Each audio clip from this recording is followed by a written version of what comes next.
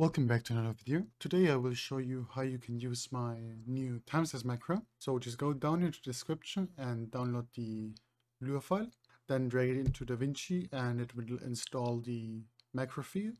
After it's installed, you can just press Ctrl Spacebar and type in timeslice and it will pop up.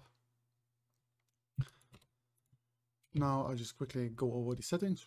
In here you can just change the slice amount go somewhere we have movement. So you see, you can crank this up to whatever amount you want.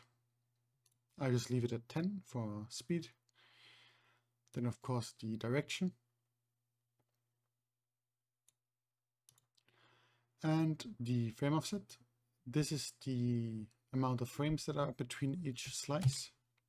And the last setting, interpolate slices. This just blends between them so you can hide the seams I hope you will enjoy this tool and see you in the next video.